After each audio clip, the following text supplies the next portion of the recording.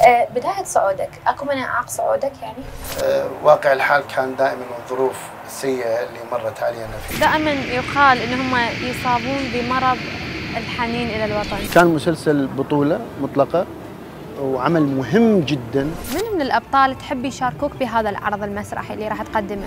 المعروفين على الساحة معروفين عند الجمهور